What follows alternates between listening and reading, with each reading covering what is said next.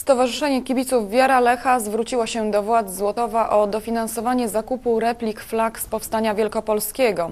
Burmistrz odmówił stowarzyszeniu nie tylko udziału miasta w akcji, ale także prawa do jej organizowania. Kibice jednak liczą, że 27 grudnia w Złotowie pojawią się choćby flagi narodowe. Powstanie Wielkopolskie, które wybuchło 27 grudnia 1918 roku, to jeden z niewielu zrywów niepodległościowych w historii Polski, który zakończył się sukcesem.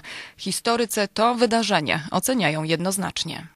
Kapitan Ta- Tacza, który był dowódcą naczelnym, e, zorganizował prawie wszystkie formacje wojskowe z wyjątkiem marynarki wojennej. To jest fenomen pewien. I, i broń pancerna, i, i kawaleria, i piechota, i lotnictwo nawet. To jest, mówię, to był naprawdę fenomen. Dla Bolesława Piotrowa nie ma większego znaczenia ani to, że powstanie wielkopolskie do Złotowa nie dotarło, ani też to, że Złotów przez wiele lat administracyjnie nie należał do województwa wielkopolskiego. Czy Złotów powinien w takim razie się włączać w obchody tej rocznicy? Jak najbardziej, jak najbardziej. Złotów, ale i cała Polska i Polacy. To było, e, jak mówimy, jedyne powstanie zwycięskie, chociaż powstań wielkopolskich było dużo, bo były trzy wielkopolskie powstania. Czas w okresie wojen napoleońskich, przecież w, w połowie XIX wieku, w czasie wiosny ludów i to trzecie. Em, Złotów jest częścią Wielkopolski. Przez całe wieki był w Wielkopolsce. Także Złotów, nasz Złotów i, i Wielkopolska to jest jedno. Idąc tym tropem, kibice ze Stowarzyszenia Wiara Lecha postanowili uczcić to wydarzenie. Kilku członków i sympatyków tej organizacji jest w Złotowie i to oni wystosowali do władz miasta pismo z prośbą o dofinansowanie zakupu replik powstańczych flag. Zanieśliśmy specjalne pismo z wiary Lecha do burmistrza. Na czas y, zastępstwa zastaliśmy y, pana Kołodziejczyka i po prostu powiedział, że nie będzie żadnego dofinansowania, ponieważ nie ma takich środków. Władze Złotowa jednak w odróżnieniu od innych samorządów w regionie odmówiły wsparcia akcji. Co więcej, Stanisław Wełniak wprost poddaje w wątpliwość zasadność działań podejmowanych przez Wiarę Lecha. Stowarzyszenie Wiara Lecha ma określone zadania jako stowarzyszenie i funkcje do wypełniania. Zajmują się po prostu kibicowaniem drużyny piłkarskiej Lecha i, i wszystko, co jest poza tym, dla mnie się to wydaje nienaturalne. Jakieś tam e, starania się o tego typu, żeby popularyzować na przykład rocznicę Powstania Wielkopolskiego, no to przyzna Pan, że to raczej nie powinno się mieścić w działaniach, że tak powiem, organizatorskich. Mimo odmowy kibice liczyli na to, że 27 grudnia na magistracie i na złotowskich rondach zawisną biało-czerwone flagi i tym razem chyba się przeliczyli.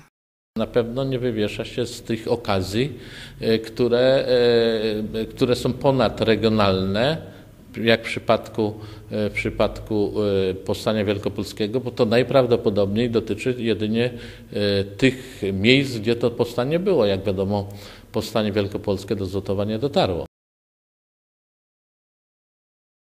Panie burmistrzu, skoro mówimy już o Euro 2012, e, to proszę powiedzieć, pan e, nie lubi kibiców? No, to znaczy ja kibicuję e, nie tylko piłce nożnej, ale różnym dyscyplinom sportu. A mam, no, że tak powiem, bardzo dobrą opinię o piłce nożnej. Jestem wiernym kibicem mm, drużyny narodowej, natomiast myśl, ja wiem, o czym pan chce za chwilę zapytać mnie. Tak, o Wiarę Lecha i tą akcję, którą e, e, Wiara Lecha, czy sympatycy e, Wiary Lecha chcą zorganizować również w Złotowie, czyli uczcić powstanie wielkopolskie.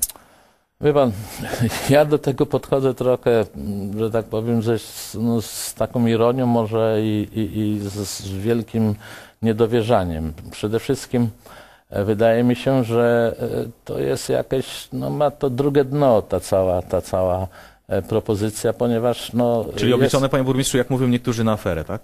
no nie wiem, czym ci ludzie się kierują. No, już pomijając, wie pan, no, pomijając to, że no, reputacja tego stowarzyszenia nie ma najlepszej ostatnio prasy, prawda? E, Ta reputacja jest mocno nadwyrężona. E, Oni, to znaczy ja nie mówię o kibicach, którzy tam się przypisują do tego, ale o władzach tego stowarzyszenia, prawda? No mamy tutaj informacje i zachowania, e, no tych ludzi przynajmniej mnie nie przekonują, że że, że e, no to jest tylko i wyłącznie, że tak powiem, cel sportowy czy cel wyższy. Tam gdzieś musi być jakiś podtekst, o którym ja nie wiem. To jest jedna sprawa. Natomiast druga sprawa to jest taka formalna, prawda? My nigdy żeśmy w Złotowie w ten sposób y, nie obchodzili rocznic Powstania Wielkopolskiego. Z tego powodu, że no wiadomo, że to powstanie tutaj na tych terenach Złotowszczyzny y, nie zaistniało, prawda? Ono Nie, nie doszło, to się zgadza, doszło. to jest fakt historyczny. Panie burmistrzu, ale warto iść e, w tej sytuacji na noże? Może, Ale, może wystarczyło ale nikt się nie zgodzić, na tak? noże. Ja nie wiem, z czego wynika, że tak powiem, takie duże zainteresowanie i takie podejście do tego, że ktoś tam w Złotowie jest przeciw, żeby te flagi nie wywiesić. Propozycja, to znaczy mnie wtedy nie było, mówiąc najkrócej, kiedy ta propozycja została zgłoszona, natomiast ja o niej wiedziałem, bo mnie informowano. Natomiast ja uważam, że y, jeżeli chcą po prostu w te flagi wywiesić, to nikt im tego nie zabrania. Natomiast my, jako miasto, w tym uczestniczyć po prostu nie będziemy.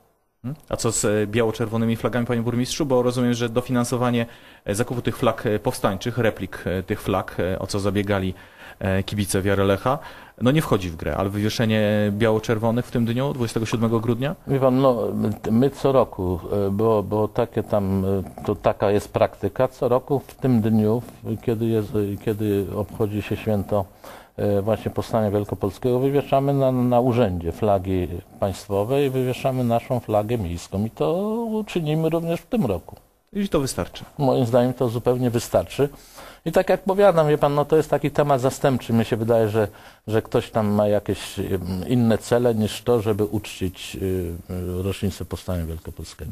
To panie burmistrzu, e, zostawmy kibiców. Proszę powiedzieć, co ma na celu w takim razie e, podniesienie podatków e, w w Złotowie od nieruchomości, bo to